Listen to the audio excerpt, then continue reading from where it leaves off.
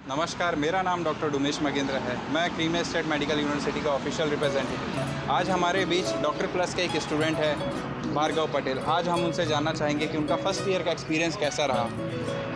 નમસ્તે મારું નામ ભાર્ગવ પટેલિયા છે હું અત્યારે ક્રિમિયાસ્ટેટ મેડિકલ યુનિવર્સિટીમાં અભ્યાસ કરું છું તો અહીંયા ક્રિમિયાસ્ટેટ મેડિકલ યુનિવર્સિટીની અ, બધી જ ફેસિલિટી સારી છે તો અને હોસ્ટેલ ફેસિલિટી પણ ખૂબ જ સારી છે અને અહીંયા ફર્સ્ટ યરથી જ તમને હોસ્પિટલ પ્રેક્ટિસ પણ મળે છે અને પેશન્ટની સાથે વાત કરવા પણ મળે છે લાઈક ધીસ ओके भार्गव तो आप हमें यहाँ अ, बताइए कि यहाँ पर फूड फैसिलिटी कैसी है यहाँ पर आपको इंडियन खाना मिल पा रहा है या नहीं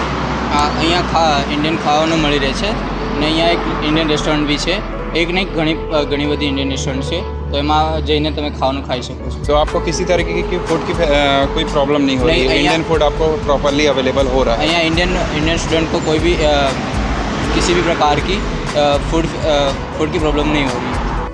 तो, तो हमारे इस साल आने वाले गुजरात से स्टूडेंट्स को कुछ आप सजेशन देना चाहेंगे જી હા સર ગુજરાતથી આવતા મારા બધા જ મિત્રોને મારે એક સજેશન દેવાનું છે કે ત- તમે અહીંયા આવો તો તમારો સ્ટડી ખૂબ જ સારું છે અહીંયાનું પ્રીમિયર સ્ટેટ મેડિકલ યુનિવર્સિટીનું અને અહીંયા તમારા સપનાઓ સાકાર થાય અ, એવી પૂરી શક્યતા છે એન્ડ